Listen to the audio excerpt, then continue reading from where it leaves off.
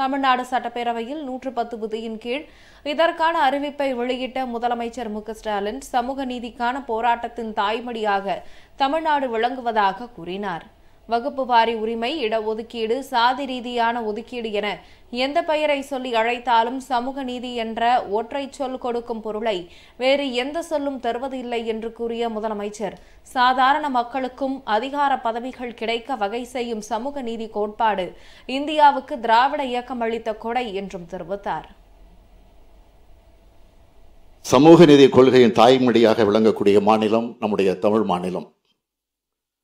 வகுப்புரிமை வகுப்பு வாரி உரிமை இடஒதுக்கீடு சாதி ரீதியான ஒதுக்கீடு என்று பெ- எந்த பெயரை சொல்லி அழைச்சாலும் அதை சமூக நிதி என்ற ஒற்றை சொல் கொடுக்கும் பொருளை அவர் எந்த சொல்லும் தருவது கிடையாது. அத்தகைய சமூக நிதி கொள்கை தான் திராவிட இயக்கம். இந்த தமிழ் சமுதாயத்திற்காக கொடுத்த மாபெரும் கொடையாகும் அது. தமிழ்நாட்டுக்கு மட்டும் இல்லை இந்திய ஒன்றியத்துக்கே அந்த தத்துவத்தை திராவிட இயக்கம் கொடையாக வழங்கியது. வகுப்புரிமை கம்யூனல் ஜீவோ எனும் இடஒதுக்கீட்டு முறையை நூறு ஆண்டுகளுக்கு முன் நடைமுறைக்கு கொண்டு வந்தது நீதி கட்சி தான். மூடப்பட்டு கிடந்த கல்வி வேலைவாய்ப்பு அதிகார பதவிகள் அனைத்தும் அதன் மூலமாக அனைவருக்கும் ஆக்கியது. சுதந்திர இந்தியாவில் அதற்கு சட்ட ரீதியான இடர்பாடு வந்தபோது தந்தை பெரியாரும் பேரறிஞர் அண்ணாவும் இரட்டைக்குழல் துப்பாக்கியாக இருந்து முன்னெடுத்த போராட்டம் தான் அது. இந்திய துணைக்கண்டத்தை அதை கவனிக்க வச்சது. பெருந்தலைவர் காமராஜர் அவர்கள் அதனை அன்றைய பிரதமராக இருந்த ஜவஹர்லால் நேரு அவர்களிடத்திலே வலியுறுத்தியதன் காரணமாக இந்திய அரசியல் சட்டத்தில் முதல் திருத்தம் செய்யப்பட்டது. தமிழ்நாட்டின் சமூக நிதி கொள்கைக்கு இந்திய அரசியல் சட்ட அங்கீகாரம் கிடைச்சது. அப்படி சமூக நிதி அடைய பல்வேறு போராட்டங்களை நடத்திய இயக்கம்தான் திராவிட இயக்கம். பிற்படுத்தப்பட்டோர் பட்டியலினத்தவர் பழங்குடியினர் ஆகியோருக்குரிய இடஒதுக்கீட்டினை உறுதிப்படுத்தியதும் காலத்தின் தேவைக்கேற்ப அளவு மாற்றம் பெற்று தந்ததும் கடந்த அரை நூற்றாண்டு காலமாக வரலாற்றிலே இருக்கக்கூடிய அந்த சரித்திர சான்ற மறைக்க முடியாத சாசனமாக அமைந்திருக்கிறது. இந்தியாவிலேயே முதல் முறையாக மிகவும் பிற்படுத்தப்பட்ட சமூகத்தினருக்கு இருபது சதவீதம் இடஒதுக்கீட்டை வழங்கியவர் முத்தமிழறிஞர் கலைஞர் என்றும் தெரிவித்தார். ஆயிரத்து தொள்ளாயிரத்து எண்பத்தி ஏழாம் ஆண்டு நடைபெற்ற இடஒதுக்கீடு போராட்டத்தின் போது அன்றைய அதிமுக அரசு நடத்திய துப்பாக்கிச் சூட்டில் உயிரிழந்த இருபத்தி ஓரு தியாகிகளின் நினைவாக விழுப்புரத்தில் நான்கு கோடி ரூபாய் மதிப்பில் மணிமண்டபம் அமைக்கப்படும் எனவும் முதலமைச்சர் மு ஸ்டாலின் தெரிவித்தார். சமூக நீதிக்கான தொடர்ச்சியான போராட்டங்கள் வரிசையில் ஆயிரத்தி தொள்ளாயிரத்தி எண்பத்தி ஏழாம் ஆண்டு நடைபெற்ற இருபது விழுக்காடு தனி இடஒதுக்கீடு கோரி வட தமிழகத்தில் நடந்த போராட்டம் முக்கியத்துவம் வாய்ந்தது. அந்த போராட்டத்தில் அன்றைய அரசின் காவல்துறையினர் துப்பாக்கி சூட்டுக்கு பலியானவர்கள் இருபத்தோரு பேர். சமூக நிதி போராளிகளான அவர்களுடைய உயிர் தியாகத்திற்கும் போராட்டத்திற்கும் நியாயம் வழங்கிடும் வகையில் ஆயிரத்தி தொள்ளாயிரத்தி எண்பத்தி ஒன்பதாம் ஆண்டு அமைந்த முத்தமிழறிஞர் கலைஞர் அவர்கள் தலைமையில் அமைந்த அரசு இந்தியாவிலேயே முதல் முறையாக மிகவும் பிற்படுத்தப்பட்டோர் என்ற பிரிவை அமைச்சு கொடுத்து அவர்களுக்கு இருபது விழுக்காடு ஒதுக்கு இடஒதுக்கீட்டின வழங்கி கல்வியிலும் வேலைவாய்ப்பிலும் சம அந்தஸ்தை ஏற்படுத்தி கொடுத்தார்கள்.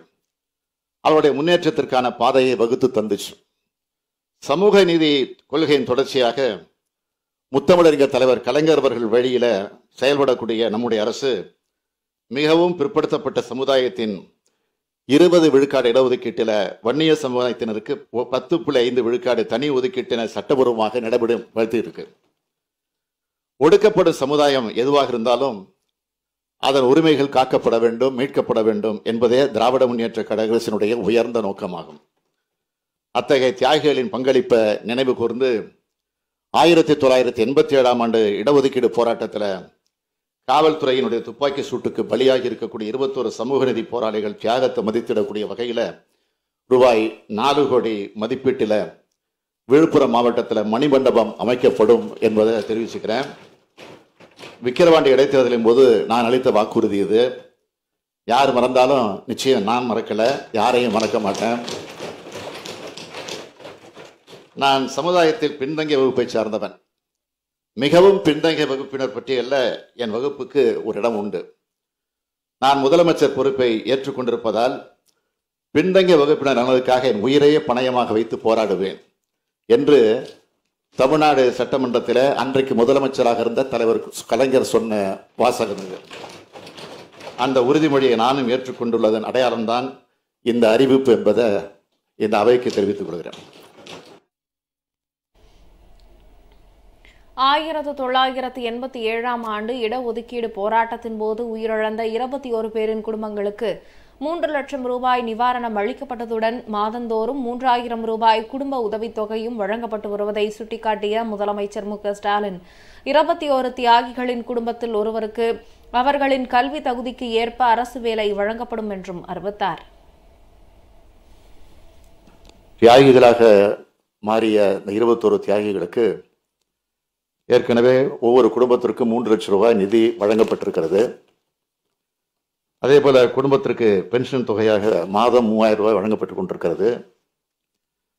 அதே நேரத்தில் இன்னொன்று என்ன குறிப்பிட விரும்புவது அரசு வேலைவாய்ப்பை ஏற்படுத்தி தர வேண்டும் என்று கோரிக்கை வச்சிருக்கிறீங்க. நிச்சயமாக அது குறித்து ஆய்வு செஞ்சு அரசு சார்ந்த நிறுவனங்களில் கல்வி தகுதியின் அடிப்படையில் நிச்சயமாக அவர்களுக்கு வேலைவாய்ப்பு வழங்கப்படும் என்ற அந்த உறுதியும் தெரிவிச்சுக்கிறேன். போலி பத்திரப்பதிவு